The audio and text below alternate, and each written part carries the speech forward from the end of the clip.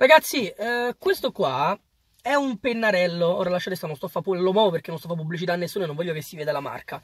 Più o meno ha fatto gli stessi gol di Edin Dzeko in Serie A negli ultimi 4 mesi. Allora io dico, no? Sono contentissimo, sono contentissimo, come una Pasqua, sono, sono una Pasqua, ecco, io sono la Pasqua, ok? Però, però io dico, no? Santi Dio, ma Geco, ma la palla, ma la vuoi buttare dentro? La vuoi buttare? Arriverà mai il momento in cui Geco deciderà di buttare dentro il pallone? Arriverà mai? Perché io spero che arrivi prima o poi. Cioè, santo Dio, solo in Champions, in Champions sente la musichetta dei Champions, si arrapa e butta il pallone dentro. Non è possibile che in Serie A, dopo 20 partite, hai fatto due gol. Che poi dico, ok, aiuto la squadra, ok, io sapete, io ho un amore inco incondizionato per Geco, ormai mi conoscete, quindi lo sapete.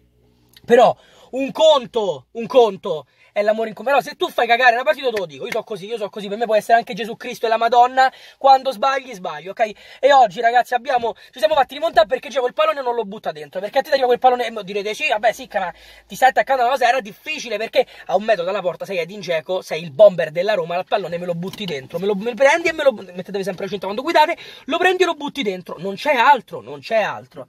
Comunque Zaniolo ragazzi, Zaniolo, Zaniolo, io sono innamorato di Zaniolo, io penso che se la Roma dovesse vendere vendere Zagnolo perché succederà in futuro nella vita che la Roma venderà Zagnolo perché non teniamo mai un cecio in mano. Mica attaccherò i cancelli di, di Trigori insieme a Bonucci che lui si attacca alle cose come fosse eh, un, un, hobby, ragazzi, e non mescolerò finché Zagnolo non tornerà a Roma. Io, regà, basito, io, ragazzi, basito, al di là del gol che è bellissimo, il controllo palla da seduto, cioè il controllo, ma poi destro-sinistro, manda al bar i giocatori avversari, cambio di passo, fondo campo, regà, Zagnolo è un giocatore spaziale, Zagnolo è un giocatore spaziale, Zagnolo è un giocatore spaziale, anche oggi migliore in campo Zaniolo. Primi minuti un po' di casino da una parte e da un'altra, la Roma che giocava rimpiattino, la Roma che tirava del qua, il Torino che tirava di là. Io voglio fare un applauso, io eccolo, faccio un applauso ragazzi, faccio un applauso al Torino sono proprio forti.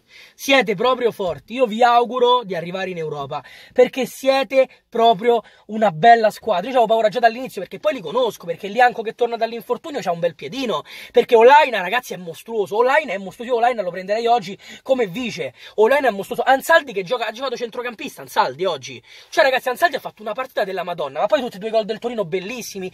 Il Torino poteva tranquillamente meritare il, meritare il pareggio. La vittoria me la prendo perché primo tempo totalmente Roma, secondo tempo più Torino, molto Torino, secondo tempo Torino, però ragazzi sono contento perché la Roma ci ha avuto la forza, che manca sempre alla Roma, di, di, eh, di, di reagire, di dire ho parecchio, intanto sembrava una scorreggia, in realtà era la cinta, di reagire, dice non me ne frega niente, non me ne frega niente, ho preso gol, non voglio crollare mentalmente come faccio sempre, reagisco e di fatti arriva il gol di El Sharawi.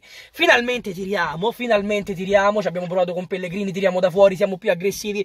Tra l'altro nel primo tempo perché abbiamo tenuto il 2-0? Mo lasciate stare il palo di Iago Falca alla fine. Perché ragazzi? Perché abbiamo tenuto il 2-0? Perché intelligentemente alzi la linea della difesa, li pressi alto, li pressi aggressivo e loro non fanno niente. Questo bisognava fare. Nel secondo tempo siamo entrati dicendo ma quasi quasi, magari se teniamo su 2-0, se, se ci dice bene. Bello che la Roma abbia continuato ad attaccare. Però io penso che se avessimo pareggiato 2-2 non avrei fatto nessun sfogo, ragazzi, perché è vero che da 2-0 a 2-2 un po' tiro del culo. Però ragazzi non è, non è, un suicidio Roma, è un Torino che se la gioca alla pari, è un Torino che in questo momento non ha niente da invidiare alla Roma e non ha niente da invidiare a tutte le squadre che sono in zona Champions, che sia Milan, cioè intendo quelle che lottano per il quarto posto, Milan, Roma e Lazio, non ha niente da invidiare. Gioca a viso aperto, gioca bene, ci ha avuto degli sfavori arbitrali durante l'anno, oggi per me il rigore della Roma era nettissimo, penso non ci sia... Vabbè, ma raga, anche Sirico non ha detto niente, quindi insomma, vabbè, ovviamente il Sharawi lì è bravissimo, tra l'altro Karsdorp.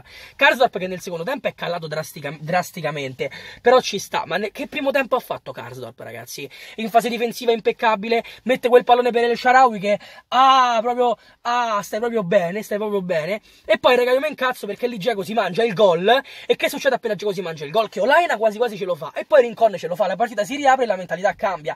Lì non va bene. Poi mi spiegherete il discorso di tutto il primo tempo dei uomini e donne che Caressa si è messa a parlare dei uomini e donne per 25 minuti, sinceramente questo non l'ho capito. Finalmente Cristante, finalmente Cristante usa l'intelligenza intelligenza. Ragazzi, Cristante mancava di passo e di intelligenza. Ha trovato tutte e due. Adesso è un buon giocatore. Adesso è un buon giocatore. Mi ricorda molto quello dell'Atalanta.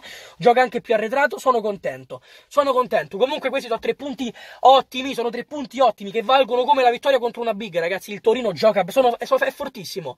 È veramente fortissimo. Vederli giocare a pallone mi, mi ha inquietato. Cioè, quest'anno ho affrontato squadre big che partono per arrivare in Champions che mi hanno messo meno in difficoltà del Torino. Ma al di là della difficoltà che poi può essere una difficoltà mia perché dicevo col Cagliari hai pareggiato 2-2 ma lì c'è l'errore tuo mentale le amnesie le stupidità. Oggi la Roma ha giocato bene il Torino se l'ha giocata alla pari.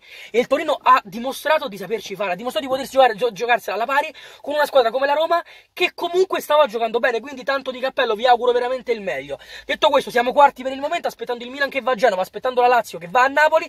Grazie per aver visto questo video. Boccia la lala, iscrivetevi al canale noi come sempre ci vediamo ad un prossimo video.